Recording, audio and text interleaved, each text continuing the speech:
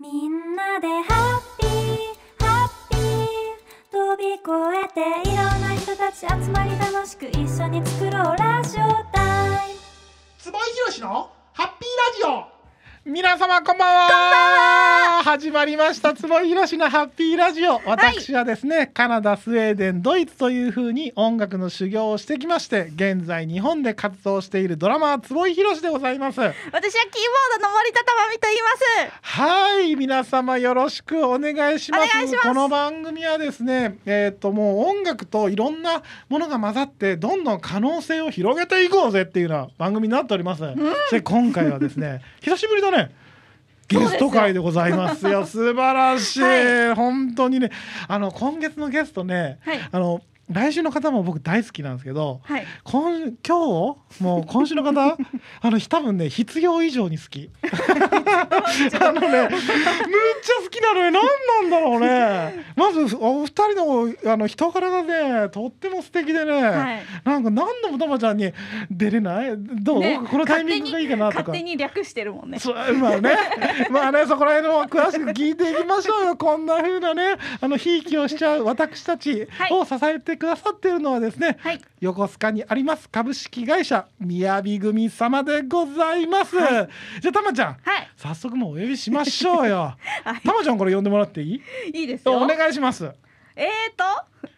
音楽ユニットのバブルポストさんです。いらっしゃいませごめんね本当に言いたかったのに嬉しいです何ねを。嬉しいですはい本当に必要以上に好きなんですいやもうそう言っていただけるのがもうねめちゃめちゃ嬉しいですね。いやいやこちらこそこちらこそ今日はですね、はいえっとマイさんとはいモンさん、はいお二人の音楽ユニットでいいんですよね。はい、大丈夫です。はい。はい、ちょっとおしたらお二人あのお名前多分正式にもいろいろあると思いますので、はいちょっと自己紹介していただいてもよろしいですか？はい、じゃあ僕からいきます。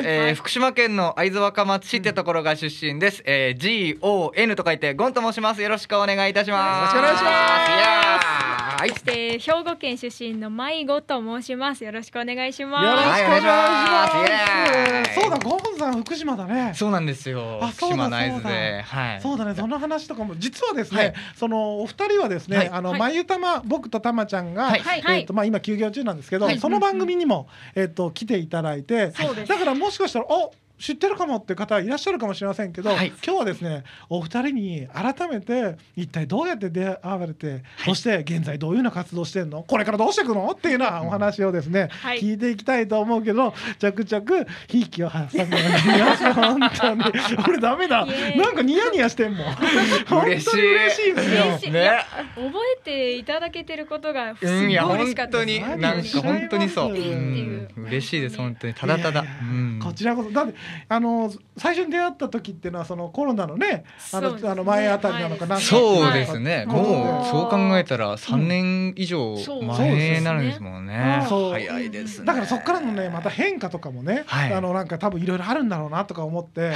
あの今日はですねたまちゃんはい。なんと生演奏もはい。してくれるんですよいね。やしちゃいまはい、あのコラボでたまちゃんも参加させてもらって今日は生演奏もいいですか。はいもちろんすいませんありがとうございます。たまちゃんなんで自分から混ぜてもらってありがとうって言わないいやいやいや、こっちがお世話になる意味なんで。胸を貸してあげるみたいな立場だなあなた。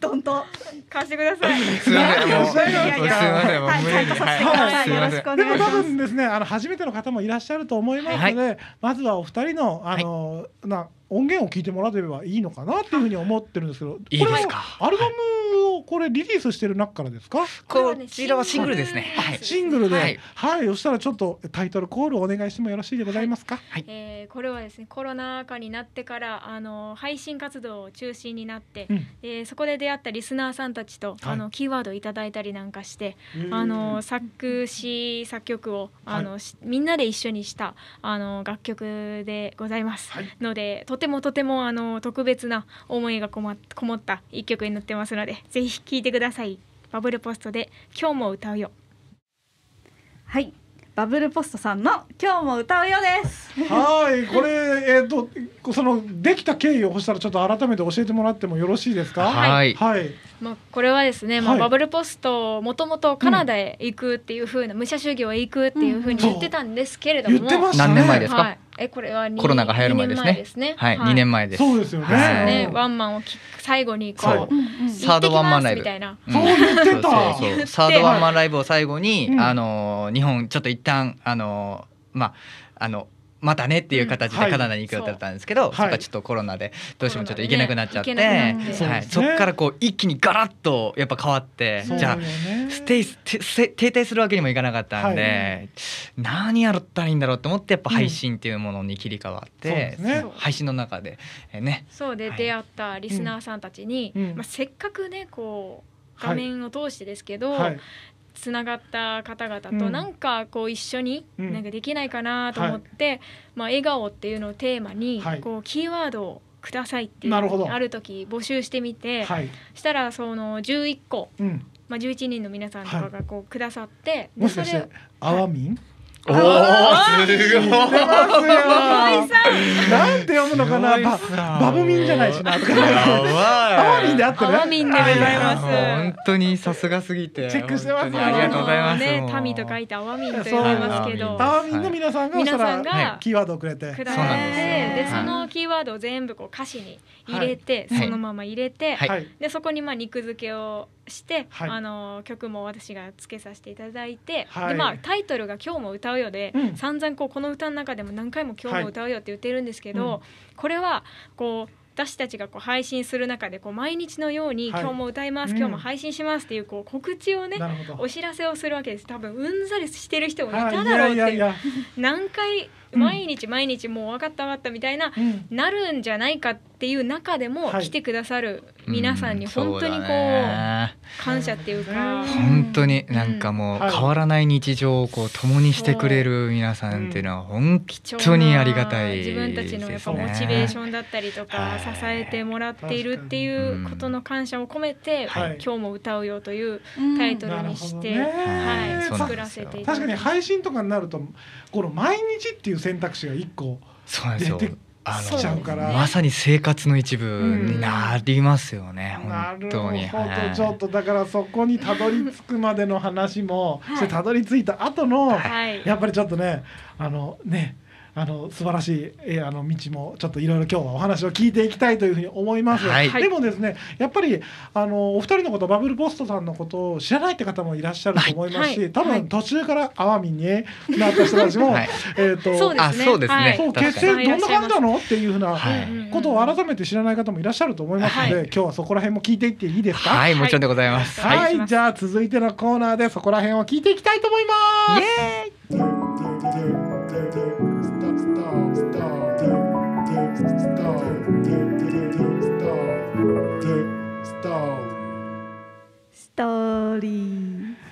はい、皆様申し訳ございません。たまちゃんから始まりましたこのザストーリーというコーナーですね。はい、物語という言葉をキーワードにお話をしていく。甘やかさないで。マジで可愛かったです。ありがとうございます。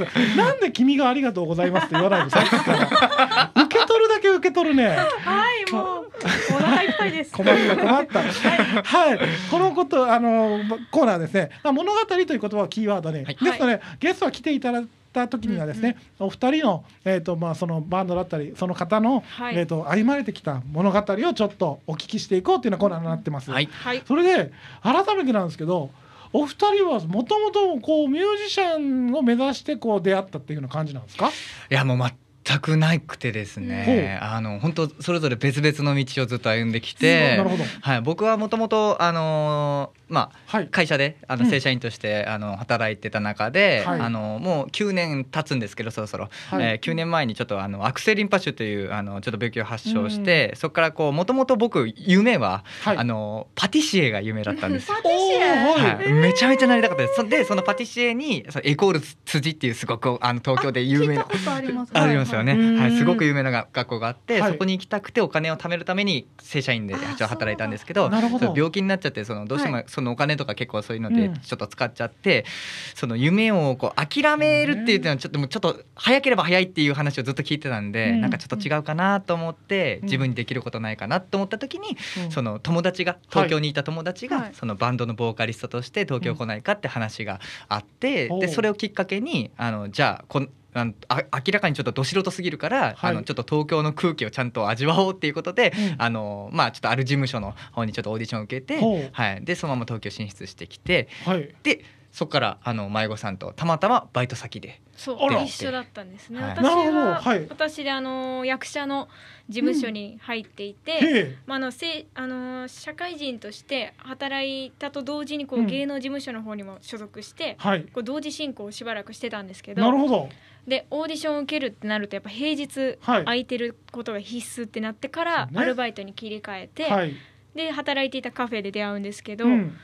だからもともとはバイト仲間？のはい。あそうバイト仲間でであの役者はい。舞さんは？僕一般人です。もうギターももともとでき 何もやってなかったですしもうあのカラオケちょっと90点出せる時あるぞだけで東京来ました。なるほど。えなたまちゃんこれはなどうなの？運命なの？何なの？すごい不思議ですいねやごい。出会いそうですそうか、そうか、そう、はいゴンさんはそうですよね。そのちょっとその前に来ていただいた時にその病気のお話とかしたんですけど、その、はいやっぱりどういうふうにこの先なるのかわかんないっていうような状況からってことですよね。まあ、そうですね。まあでも、うん。あなんだろう。あの本当簡単に使いたくはないですけど、はい。病は気からっていう言葉を僕は本当に信じてて、うんやっぱりこう気持ちをこう常に前向きでいるっていうのは、はい。僕はこう人生を明るくするとか、もう何事にも本当に大事なことだなって思ってるんで、僕はある意味そういった意味であのこういった音楽バブルポストにこう病気の部分でも助けられてるところがあるのかなってちょっと見えない力を信じたりもしてますね。いやでもそうかもしれません。だけどたまちゃん最初出会った時さ、もうなんかとにかくハッピーなのよね、ゴンさんが。すっげえハッピーで。あ温かいやつにはなってましたけど大丈夫いやですか？大丈夫。あはい。のなんかねすっげえ見ててしあのね楽しいしあのすっごいあったかい気持ちになるよね。一生懸命なんでこの人は野菜をえっと野菜の 何でしたっけ？あれ。レタスレタスですよね。何をしてるの？でもすげえ楽しいぞハッピーだぞっていうような。はいだからはい。そういうふうなのがもしかしたらね、えあの伝わってるんじゃないのかな。だからゴンさんのねあのお話っていうのは多分ぜひ皆様あの他のところでも多分いろいろもうお話ししてると思うんで。はい。今日はお二人のね、はい。あのユニットにちょっと注目してはい。お話ししたいと思うんですけど、はい。バイト仲間なんですね。そうなんですよ。あのビジネスホテルで僕はフロントとして入ってきて、うん。こはい。のこの人はもともとカフェ。そうカフェで、はいはい。はいはい。キッチンとか、はい。あのホールとか、はい。そっちをやってたんですけど、はい。なるほどこで出会ったんですよ。それでなんで？だからそうなんですよ、挨拶する程度だっておはようございます。みたいな。しかもなんならめちゃめちゃ第一印象僕悪かったのか、はい。なんかちょっとこう2歩ぐらいいやいやいやだから2歩ぐらい距離が遠い感じ。本当初え初対面。初対面の時に、はい。おはようございますみたいな感じだったんですよ。はい。チャラと思って、な るもうそういう初対面からグイグイ系ちょっと苦手なんで、人見知りなんですよ。なるほどね。はい。や確かに。え嘘？えこれちょっとこれリスナーの皆さん。しかもね髪型もその時すごいなんか、うん。ストレートパーマみたいなのやっいてやちゃうね。あのメメンズメンズエッグが終わってちょっとこう ねちょっと風化した感じのままだったんで。なるほどね。あの多分、はい。あのどっちでも捉えられるんだと思う。あすですよね。げえい。い明るい子だって捉えられる、もう捉えられるし、はい。多分ちょっと角度でもね、そこは多分ねあの捉える側がちょっと影を背負ってる可能い性もあるやそうですよね。はい。僕そんなつもりなかったですもん。苦手なんで。はい。なるほどね。はい。苦手なタイプだったんです最初は。はい。てたけどっていうそうことですね。弾いてたけど、はい。なんかある時休憩所でこう私が段ボールとかをなんか片付けながらで、ゴンちゃんはお昼を食べてるみたいな休憩タイムで、はい。でなんかそこできっかけになんかお疲れ様ですとか言って、はい。お疲れ様ですみたいな話をしながら、うん。なんか音楽やってるんですかみたいな私がこうあ多分喋ったりしてヘッドホンとかなんかねはい。なんか調子それも調子乗ってますよね。ヘッドホンとかしちゃったりなんかして。ちょっと待って、まあオレンジの当蛍光時よね。の、確かにね。あのじゃあ違うんですよ。休憩時間に。あブックオフでちょっと安く売ってるんです。よ。なるほどね。そう。新品のが。やっちゃったりなんかしてるから、はいはいそう、まあ、音楽やってんのかなみたいな、はい。明らかにそうそんな感じだったんで、うんそういう話してたら、でも話をしていたらすごいめちゃくちゃ好青年だそうったんですよ。ね。うんはい。もうなんか本当にだからはい。ちょっとパッと見でこういう損してんじゃないかなみたいなぐらいの勢いでうんはい。いい子だったんです。なるほどね。違う。いい子でした。そこでそこでようやく印象が変わったと。はい、印象変わそうりました。みたいですね。それそれからちょっとなんか話すようになったりとかしたんそうですね。そうですねはい。うんで僕はそのさっきもあの言った通りそのバンドのボーカリストとして来てたんですけど、はいなんかあのこうちょっといいですか、はい。このあの、はい。はいちょっとできるだけ放送コードに引っかからないように喋るんですけど、あのはい。あの何その誘ってくれた友達同級生だったんですけど、はい。あのこう男性としてのこの経験がなかった友達でね。ね。僕それがすごく不安だったんですよ。おはい。一緒に組むにあたって、あのもしそのその初めてを経験された時に、うん。こうどっぷりハマるんじゃないかなっていうこう僕の不安要素がずっとあって。なるほどね。はいそれがずっと僕の中でこれ本当にいいのかな本当にいいのかなみたいな。しかもど素人がいきなり入ってうん。何が楽しいんだろうみたいなとかいろんな自分の中で葛藤があって、どね。その時にこの人がバブルポストの曲の中に「かゆみ」っていう曲があるんですけども、はい。その女子更衣室の中で一人で歌ってるのをうん。聞こえてきて、そうだねあれ？って思って。一人は語弊がありますけどね。頭おかしいみたいにな友達がいたんです役者の、はいはい。役者友達がなんか人生で初めて私は曲を作ったと言ってはい「かゆみって曲だ」って言ったら「ぜひ聴かせろ」って言われたので友達が聞かせろと。友達が。あはい「ぜひ聴かせてほしい」みたいな。気になりすぎると言われて。はい。そしてそれが、ではい、女子更衣室の扉越しにこうちょっとうっすら聞こえてきてはい「かゆいあーかゆい」ってすごく大きい声で歌ってるの聞こえてこれはなんだ？うん。歌なのか？なんだこれ？と思って、なんか一瞬でこうガリレオ・ガリレイのあのドラマみたいなブワーって計算式みたいな、はいはいはい。俺の将来の設計はこれは 俺はこのまま楽しい方向に今進んでるのか？いやはい違うな。ゼロからでもなんかこう自分がやりたいことやった方が面白いんじゃないかなっていう計算がブワーって出てきて、はいチーンって出ていやなこれね。の人とやったのが多分おもろいなと思って、はい。そのまま女子更衣室にちょっと飛び込ませていただきまして。本当に、はい。あのそのままです。ノーノックです。言いました。ガチャみたいな。はいちょっと一回待ってね、はい。ちょっと一回待ってほしいのはなんでかっていうと、はい。えっ、とちょっと触れないとやばい要素がよ多 すぎてちょっとね整理しないとリスナーの方がねついていけないんじゃないかなあの本当に警察が来なくてよかったなっていう、はい、ね。なるほどね、はい。ちなみにゴンさんは、はい。え男子校とかじゃないあいやもうちょっと似た感じですね。あ。もう男子40人3年間だったんで。あなるほどね。はたそしたらちょっと僕僕男子校出身だいあそうなんですね。だからはそそういうふうにあの、はい思っちゃうのはちょっとわかる。いいやもう全然余裕なんですよね。で、あはい。の確かに俺の友達とかでもねあの全然あのなんかあのあのお店があるから俺は生きていけるみたいなことにどっぷりハマってね。ことたちも知ってるから、はい。男子校出身だと結構免疫がなくてそうなんですよね。あその心配はちょっと多分あの共学の方は想像できないめちゃめちゃ心配だったんですけど、そしてそこに不安をかか構えあの抱えてたところに、はい。えっ、とそのまあ女子更衣室から歌が聞こえるという、まずホラー現象ですよね。そうホラー現象が聞こえて。はい、そしてちなみにね、はい。ごめんねマイさん、はい。えっ、とタイトルかゆみ、はい。えっ、とそれはホラーです。本当ですよね。あの僕はバイオハザードの馬馬かゆっていうなんでかゆみだったんですか？いやーなんかそれが生まれて初めて作った曲。時がはまあ痒かったんですけどもい。あのまあテレビでね小袋のあの小渕さんいらっしゃるじゃないですか、ががあの、ギターがね一本あればうん。曲は作れるって言ってたんですよ、はい。それ本当かよって思ったんですなるほどね。誰でも作れるって言うから、はい。言ったなみたいな、うん。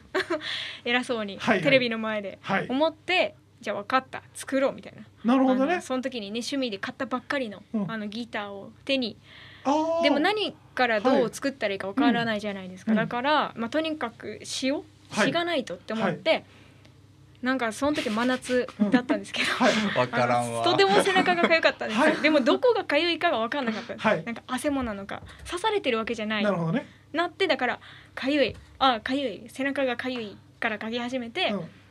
なんかなんだこの痒さはみたいな感じのちょっとイライラをねぶつけたわけです。なるほどね。えっ、と、みえっ、と、リスナーの皆様、あ、二十三時以降なので。はいホラーをそうです。あのちょっと身の回りをちょっと見てもらってはいすいません。ちょっと。はい。急にね演劇は結構そういうのはあのディープなやつをやられてたんですか？いやもうライトなあの映像系だったりしますねあの。へえ、はい。でもこうちょっとあの今のところかゆいのかあのえっ、となんで来たのかはあのまあふ触れない方がいいのかなっていう気持ちも思ってるけど大丈夫？あの触れてもらっていいですか？逆に触れてもらわないともうわけわかんなくホラーの曲みたいになっちゃうね。でもちょっとその自分のその今のはい。感情をバッっていうふうにこうまあか軽くやってみた30と分。ぐらいではい。こうなんか書いたまんまそれでもうは曲というかなんかつけてうん。メロディーを。えギターそのコードとかなんか適当に合わせてって感じでじゃーんとかそうだから弾いてみて。シート多分その使われてるやつぐらいしか知らなかったあんですよね。なるほどね。はいそのくらいにそれでて適当に歌詞に合わせてメロディーをつけてみてって、はい。だから誰に見せる予定もなかったのにあの聞かれてっていうふうなことですね、はい。よかった。ちょっと整理できた？よかったありがとうございます。いえいえ。ありがとうございます。なるほどね。でそれで聞いてもビビッと来て。そうですね。はい。はい。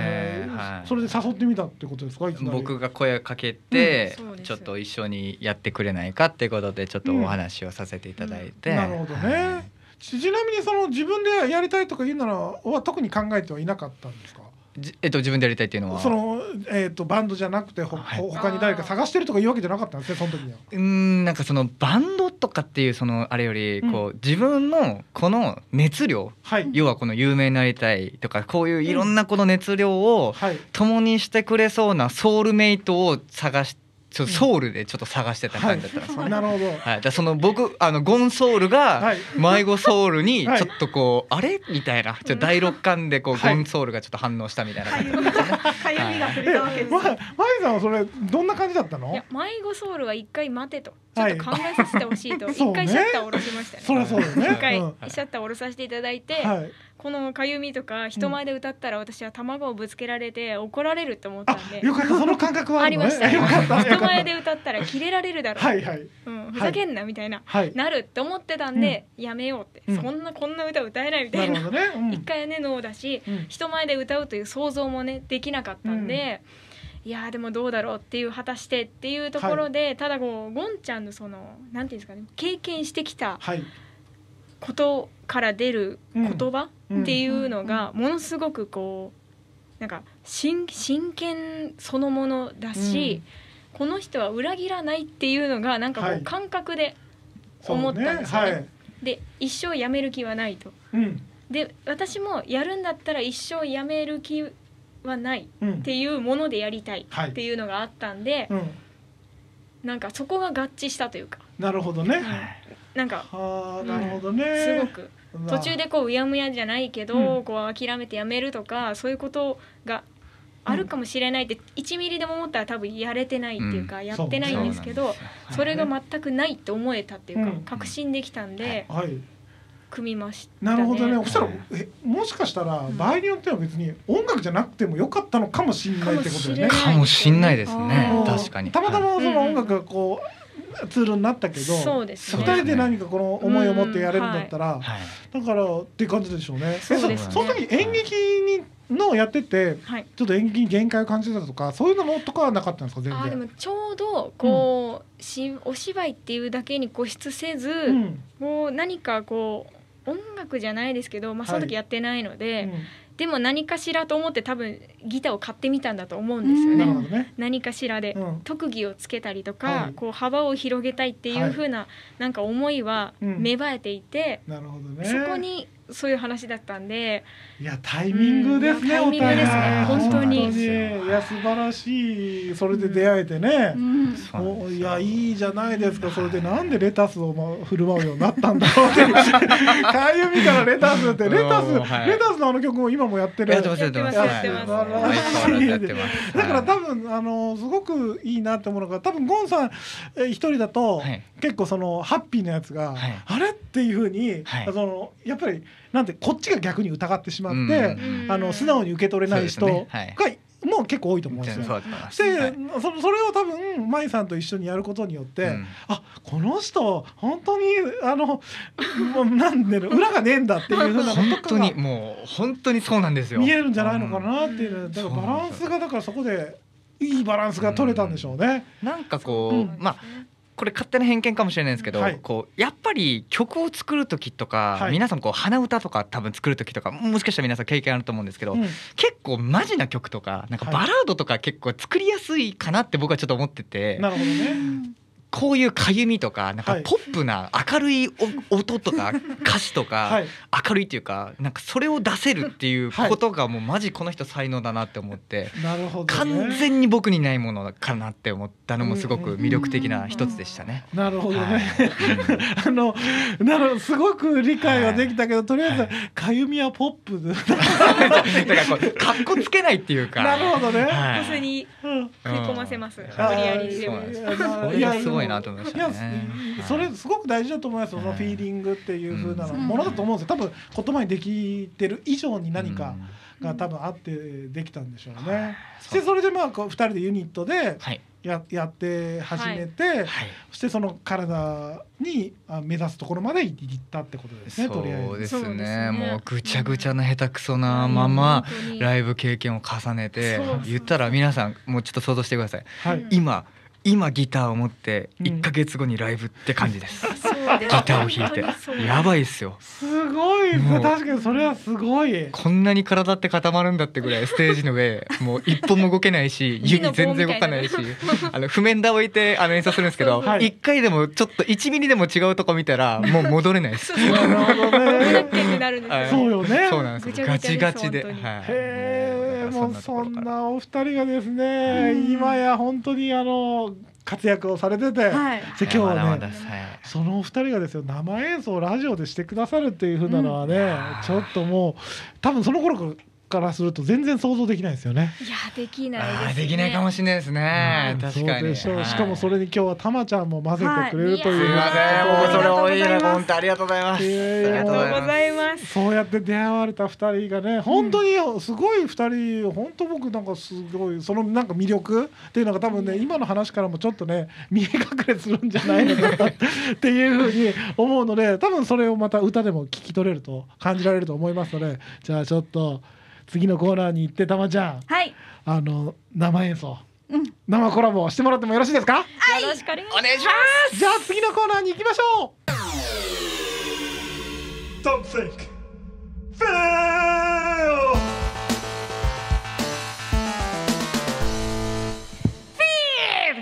いいね。すごいガコンってなってたねたまちゃん。すごい勢いあったね。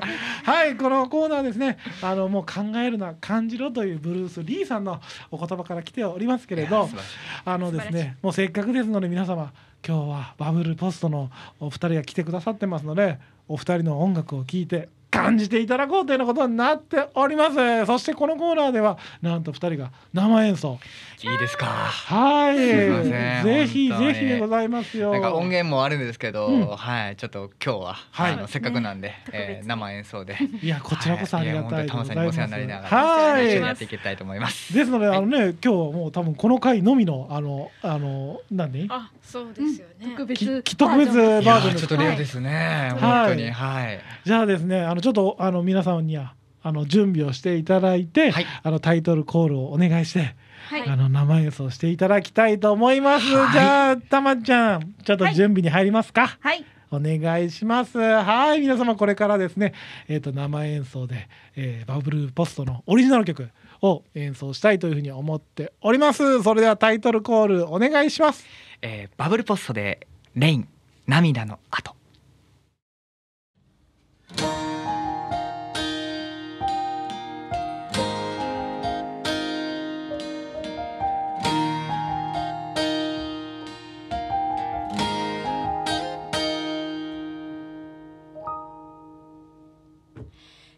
しゃくしゃに心がいつも暴れていて大人になればいいと思っていた。思い出してるいつかの小さき大きな夢。改札通りここに決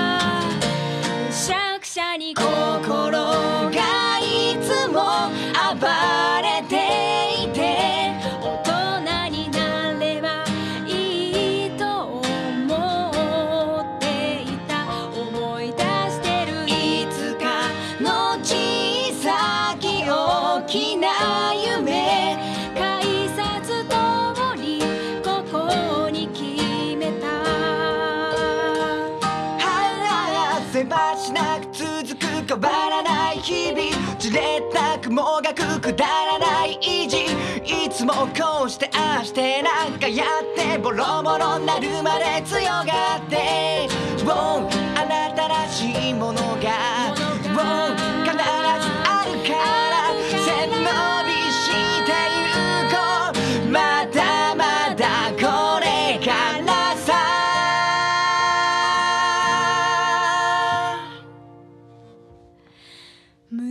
くしゃに心がいつも暴れていて大人になればいいと思っていた。思い出してるいつかの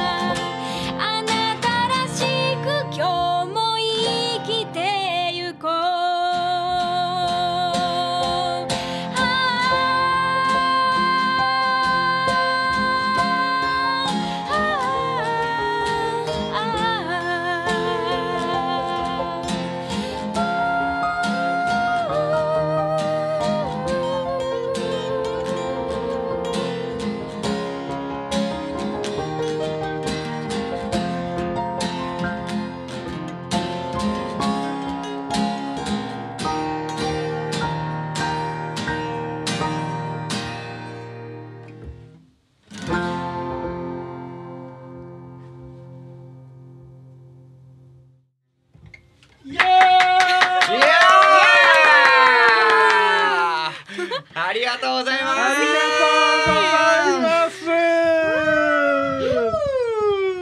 はいバブルポスト with 森田さん、はい。えーレイン涙の後という曲でした。ありがとうございました。ありがとうございました。っていうかもう本当玉さんありがとうございます。いやいやいやもうこちらこそ。なんかいいいいんですか？本当に。なんか。いや僕たち本当にもうあの上野太横丁で初めてお会いした時に、なんかこう、うん。うん本当にだから自分たち今もそうですけどこうはい。なんか。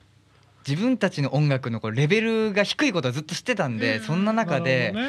なんかこうなんか人間ってこんなに綺麗にはい。なんかこうお音楽楽しみなんかこうなんか本当にこんな素敵な時間を届けられるんだっていうのをすごくこう教えてもらった方たちでもあるので、そんななんそかいやなんか本当に僕ははなんか本当にうんこうなんだろう純粋にこう楽しいっていうのをうん目の当たりにしたライブというか、なるほど。うんはい。なんか本感当覚でごめんなさいなんか言葉で言いづらいんですけど。とっても嬉しい。い。やそれはもうお互い様で、えー。あのあお二人はそのパフォーマンスも面白いじゃないですか、そのさっきレタスっていうのは 言って多分レタスって何と思ってる人もいるんであどんなパフォーマンスでしたあっけ？レタスっていそうオリジナルソングがあ,、って、ねで、本当にあのレタスをちぎろうっていう嫌なことあったらちぎってみんなで心ハッピーにしようぜみたいな、はい。あの曲なんですけど、はい。まあその時にレタスをうん。買ってきてですねそのレタスをお客さんに配るといううん。パフォーマンスを、なんかこう本当にライブ会場にお越しになられた方、はいお客様にはあの、うん本当に小さどんな小さなこともいいんで、うん。その嫌なことを本当に、あの聞いてはい聞いてそれをこう歌にして、はい。はい、でそのままこう曲に流れて、はい、こう嫌なことも全部こうみんなで共有しようっていう。共有はい。もうして最後は美味しはい。いサラダを食べようみたいな、はい、もう悲劇悲劇も喜劇にしていこうぜっていうそんな曲です。はいだからその僕らはそのよ要するにあのお二人とかにその音音楽だって全然やったことなくて1ヶ月で経ったんでしょ？それだけそこでもう一生懸命多分どうにかしなきゃっていうふうなまっすぐなはいあの気持ちっていう風なのを、はい。あのすごく教えてもらって、うん。そのちゃんと皆さんにこう向かっていくそれでしょっていう風な原点はっていうのを やっぱ教えて僕らももらったしなんかだからもうなんかすげえ好きなの。ねねえたまちゃん。いやいやあと4回言うよ。ちょっと録音しよう。あのだからお互い様でございます。ええありがとうございます。そしてやっぱりその思いとかがこのさっき今のね、あの曲生演奏にも込められてて、やっぱりね、うなんかもう心にくるよね。うんあ素敵だなって。このこれはどうやって普段曲作られてるの？これはうん。本当になんかこう迷子さんがもうはい。一人で曲作ってくる時もあるし、うん。僕がもう一人で曲作っちゃう時もあるし、はいはい。こう大体こう一旦10で持ってって、はい。でこうあでもこここうした方がいいんじゃない？こここうした方がいいんじゃないって言ってこう残りこう2ぐらいをこう一緒にやったりとかっていうのが基本的まあ、7、8な。割ぐらいを2人、自分で完成させていって、はい。うん残り23割を一緒に埋めるみたいななるほどね。はいっていうのが結構多かったりしますね。二人で二人の曲のその違いみたいなのあったりするんですか？そのできる曲の。あもう結構はっきり違うかもしれないです。僕は言ったらうんもう好きなら好きなるほどね。なんかこうドストレートなんですよ多分、ははいいなんかこうあの小説みたいなうん言い回しは僕一切ゼロなんで、はい僕小説読んでこなかった人間なんで。ゴンちゃんはもう「I はい love you」って伝えるタイプで,、はい私は月が綺麗ですねっていうタイプですねさすが。たまちゃんわかる？う んわかるよフライングザムーンでしょ？さえええフライニングザムーン？あれ違う？違いますよ。夏の騒ぎでございますよね。第三が出たぞ。えもうえ多分全然月行っていいよ。ねねあの行かないで最後にお話ししたい。行かないで。行かないで。優しいね。いやなるほどね。そういう感じで分かりやすく言うとだかはいらレタスは私なんですけど、まあだからストレス発散法の歌とは思わないじゃないですか、でも。うん、そうね。まあちょっと曲には散りばめてますけど、もちろん、ですけどこういう「レイン」とか「はい。レイン涙の後今聴いていただいた曲なんかはうん。ゴンちゃんだったりして、うん。はい。なるほどね。そうですうんなんはかやっぱ2人の作る曲ちょっと結構違ってまあうん。面白いですね、うん。だから被らないんで、はい。いでもこう共通部分もあって、はい。やっぱりこうメッセージソングっていうのがやっぱりこう自分たちの共通意識ではありますね。ちょっとそうあのね一個だけ聞いていいですか？はいどうぞ。はい。あの要するに言ってしまえばお二人の持ち味ってはいその違うじゃないですか。はい。その今の I love you の話でも。うん。はい。そこで例えばそのいや例えばゴンさんからすると、い、やそんな遠回しに言わずに直接言おうぜみたいな感じだったりとか、今度舞さんからするといやちょっと直接言うすぎて恥ずかしくないみたいなそういうのぶつかりっていうのはない？これがうん。本当に、あの逆なんですよ。ぶつかるっていうよりかはあこんなのあんだって。だから要は僕にはない知識がそうですね。加わるのが嬉しい。うん。うんはい、だすあの「I love you」を「はい。月が綺麗だね」うわー見えるわ隣に好きな子いるわみたいな。その発想マジすごいなみたいな天才だなみたいな感じなんですよね。なるほど、ね。はい。い、やゴンさんもうあなた大好き。本当に、はゴンさんはなんかすげえ分かった。え舞さんいやはどう？私もだからそのストレートに言えるうん。まっすぐさがないからなるほどね。それも羨ましいし、はい。時に必要だとも思うんですよなるほどね。うんうん大事だよねっていう、だからやっぱストレートに言っていはいいっていうか素敵な曲って思ったら、うんやっぱこのまま行こうっていうはい。じゃあ私だったら、まあ、違うかもしれないけど、うんでもそれはうん。ある意味伝わらないかもうんとか思ったりする場面だってあるんで、はい。はい。ストレートに行こうみたいな。なるほどね。はいああいいいなんかそうい感感じじじゃない。素晴らしいですね。なあえここういうのお話とかアミの人たちは知ってんの？いや意外とそう知らないかもしれあんまないです。り知らないはい、だからちょっと今嬉しいですね。よかった。そういう面をはいねぜひ皆様にそうそうそう聞も知ってきたいと思いもますらいたいから。はいいやあ嬉しいですなるほどね。はいあわかりました。じゃあそんなお二人がですね。はいじゃああのこの前何をされてこれからどう目指していくのかっていうお話をねたまちゃん聞いていきましょうよ。はいそうですねじゃあ次のコーナーに行きましょう。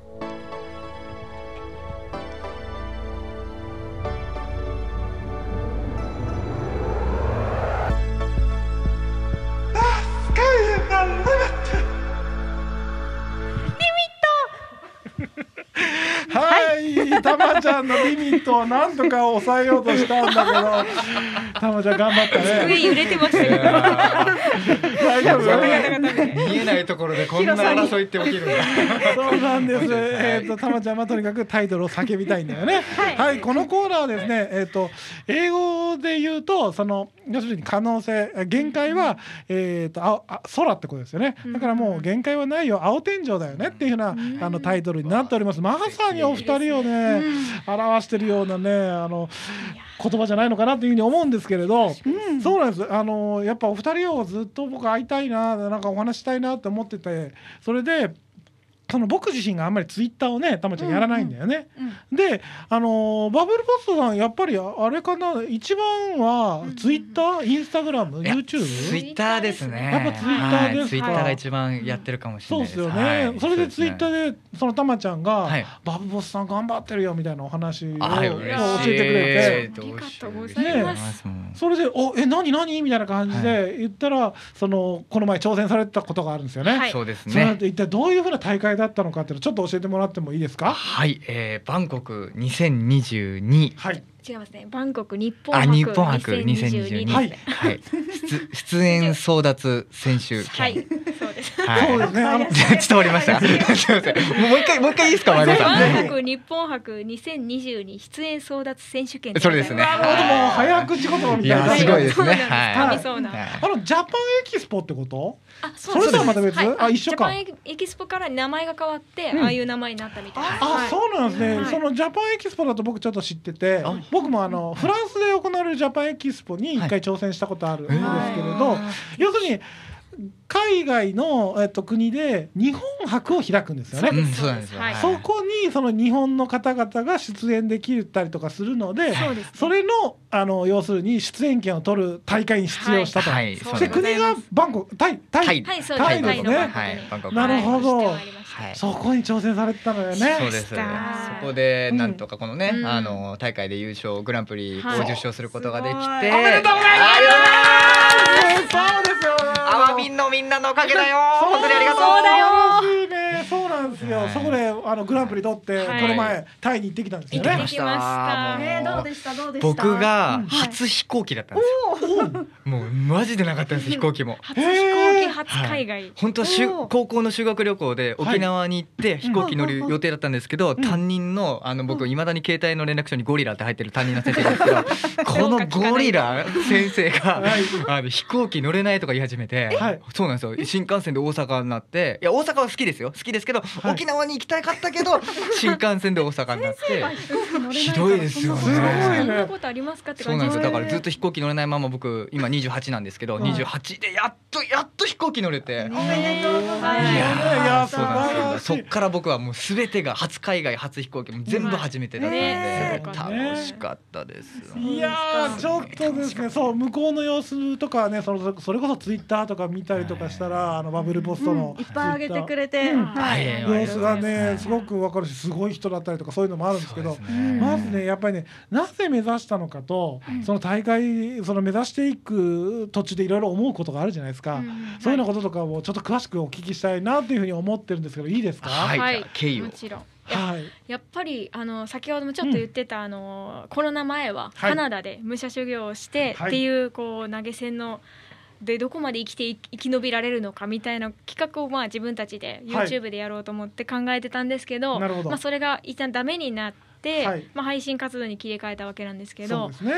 でやっぱりその、どうしてもやっぱり自分たちの中にさっきも言ったんですけど海外で一回はこうん。う歌ってみたい、海外の人の空気を感じてみたいって、はいでもそう思った理由が、うん。あのー、2人でバブルポストでやってた路上ライブ。はいはい。2年ぐらい池袋でやって、うん。ずっとやってたんですけど、うん。その時にやっぱあの海外の方からしたら日本語の歌詞とかって意味わからないと思うんですけど、ですね。はい。うん。でもそこで路上ライブをしていく中で、うん。あのカナダ人の方と、まあ、ロシアの方だったりってはい。全然本当日本語わかんない方がすごくビッグファンになってくださって今もつながっていへてー。でもそれってそれを歌ってる時って日本語の曲で自分たちのオリジナルなんですけど、なんでだろうと思ったんです。よ。うん。で他の海外の方がよくたくさん来るライブに出たとしても、はい。すごく結構受けたりしてたんです。うん。うん。でそれが結構不思議で、はい。何かこう海外の方で言葉通じなくとも、うん。こう通ずるものがあるんだろうかみたいな。自分たちのテンションなのか、はいうん。それが何なんだろうっていうのを確かめたいっていうか、この目で見たいっていうのもなるほど。あって、はい。そうなんですよ。もうだスタートのままですよね、うん。エネルギーでどこまでいけんだろうみたい素な晴らしい、はい。もうそれだけです。なんかやっぱそれが確かめたくって、はい。っていうのと思っていたところに、バンコク日本博のそのオーディションのメールが、はまあたまたま目に留まって、うん。でミューディアに一回こうミューディアさん自体には一度つながってたことがあるんですけど、はい。あのその時は生ライブのもののオーディション形式で,、はい。で今回配信完結ネット完結ということで、はまあ、自分たちがこのはい。1年間こうフルで頑張ってきたこの配信活動というものの成果もやっぱりこなるほどね、出せるんじゃないかっていう、まあ、力試しじゃないですけど、せっかくここまでつながってきたみんなと何かをうん。成し遂げて遂みげたいってていう。うたいっいう。はい。はい。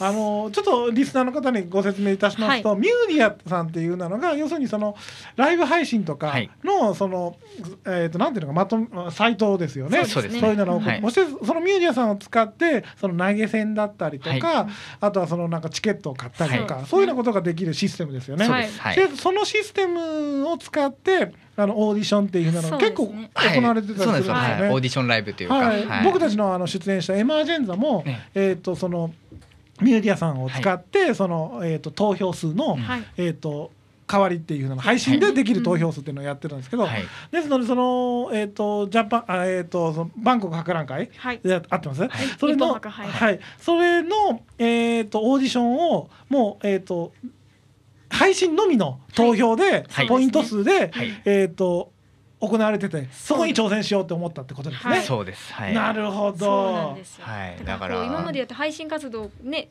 してきたはい。してきて聞いてくださってる皆さんからしたらこう、うん。あまり形は変わらないわけですよねはい。言ったら、だからこう参加してもらいやすいかなっていうのもあったんですよね。そうかそうか。うん。あとちょっとこれも言ってよかったんですけど、うん。さっき先ほど皆さんあの聞いてくださった「今日も歌うよ」という曲ですね、はい。うんうんあのこちらが、うんあのこちらでこの曲でバンコクに行けたっていうのもあって、あの先ほども言ったそのカナダの友達がはい。実は出演してるんですよ、そうなんです。ミュージックビデオに。はい。セバスチャンって言うんですえっ、けど、とそのえっ、とお方法は、はい。えっ、とミュージックビデオをえ上げる。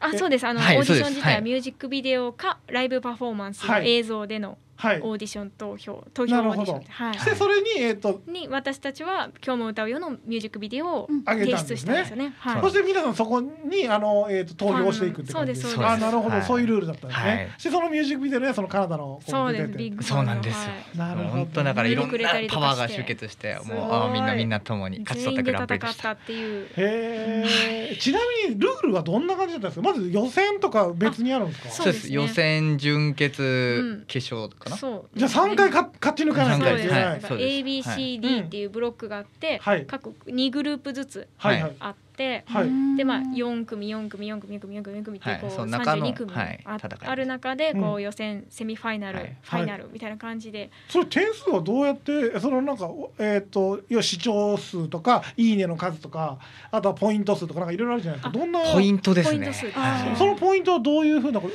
なんかその応援コメントとかで、はい。そのなんかこうポイント貯められたりとか、レポート。とかもちろん課金でコメあのポイント貯められたりとか、ね。いろんなこうポイントを集められる方法があって、うん。はい、それで毎をこう皆さん。日ログインのそうログインポイントがあったりとか、なるほど。そうなんですよ、はい、だそからこうのポイント。2人で毎日ログインためための会というね。はい、はいそう無料でそう要はこう無料でできるる何かなんだろうと思った時に毎日ツイッターで10時から10時半まで、そう生はい、配信して,、やってこました。の時間一緒にログインしましょうみたいな、はい、そう。だからねおお二人がねそのやっぱり一緒に勝とうよっていう風な気持ちを、うん。そのアーミーの皆さんとやってるやり取りの、あの心折れるじゃ ますよ。僕だったら折れます。はいだし申し訳ないっていう気持ちとかもなんか起きてきたりとかうん。それこそうん。あるけどでもやっぱり僕僕たちこうしたいんだっていう風なのを曲げずそううですね。そしてそれについてきたアーミーの皆さんのだから皆さんが本当に素敵で。すごいです。僕たちっていうよりかみんながすごいんですよ。いや。そそのおお二人も含めてバブルポストのお二人も含めて本当に素敵でその確かにお二人からするとねあの皆さんがあのうん応援してくれたアーミンがあの支えてくれたって気持ちでしょうけど、でも僕らからするとそれも含めてそういう場を作られてる皆さんが素晴らしいなって思ってだから僕らもちょうどエマージェンザやってる頃にそうですよね。時期が結構その一緒だったっていうのもあってめちゃくちゃパワーもらってましたそうなんですよ。本当に本当にそうなんですよ。あお互い様だったのね。ええ本当にだからあよかったなと思って。いやはい。ーそうよね。びっくりしましたじゃあちょっとお互いにちょっと優勝で おめでとうございます。おめでとうございますおめでとうオッケーちょっと時間がやべえなくなってきたけどはい。喋り足りないですね。もう足りすいません。ない。はい太陽どうでした？楽しかったです最高でした。もうまた行きたいです本当に。はい。その反応のところはどういうふうな手応えを得まもうしたか？ウェルカムですね。もううん。永遠とサワディックラープコップンカラーのもうずーっと挨拶に始ま始まってうん。挨拶に終わってもうずっと。高いし暑いし、はい。なんかもう本当すごい楽しい国でした、なるほどもう一回行きたいな。何度でも行きたいなと思う国でした。なる。一回行きたいです全部日本語でえっとタイ語も少しあの、はい。MC をやったりとかして、うんタイ人の友達に聞いて、なるほどね。一緒に練習してやったりとかして、はい。でも通じてくれてたんでなんかすごく嬉しかった。ですよ。はい。あと英語がこうあの迷子さん喋れるので。基本的には英語で、はい、やったりとかして。なるほどね。そのじゃあこれからも海外はやっぱり挑戦してい。きたいですね。行きたいですね。やっぱり。いいっすうんね。やっぱ楽しいですね。うんなるほどね、はい。い、やでもそこで得た手応えっていうのはね多分これからにつながっていくでしょうから、はい。い、いなアワミンと一緒に行くのね気持ちを持って、もう一緒に頑張らせてください。はい。なるほどね、ちょっと俺らもなんかあれなんかラボ生とかなんかそんなラボメンとかそういうふうな。あいいね。そう仲間のことをなんかね羨ましいんだよ。したいんだけど可愛い。確かにそう。ちょっと待って、ちょっと待って、えっ、と、お二人がもうライブのね、だからそれで 生でお二人を見てほしい。はい。ですので、ぜひあの、はい。ライブのね、あの告知をお願いします。はい、えっ、と今月9月30日金曜日にですね、えー八王子のパパビートで、えーオープン7時スタート7時半からバブルポストとタクトウィズタクト楽団さんと、はい。ツーマンライブ。大きい、そうですね。ツーマンライブがありますんでぜひぜひあのチケット3500円でワンドリンはい。ク込みなので、ぜひぜひ遊びに来ていただけたらと思います。あと来来年ですねはい。皆さん、えー、2023年の4月の1日にワンマンライブをやります。あ池の袋です、はい、あのまずツイッターを見ていただきまして、そうです私たちの活動を見ていただければと思います。よろしくお願いいたします。はい、もうやべえ、時間なくなっちゃったけど、皆さん、えっ、と、とにかくバブルポスト、カタカナで検索しても出ます？大丈夫だと思います。はい、もうバブルでもう、はいバブルでも出ると思います、大文字ですぜひぜひまずはそこを検索して、本当素敵なお二人ももう皆さん伝わったと思います。ぜひぜひチェックしてください。ありがとうございお願ます。いします楽しかったです。ありがとうございました。バブルスポットのお二人でした。ありがとうございました。Bye.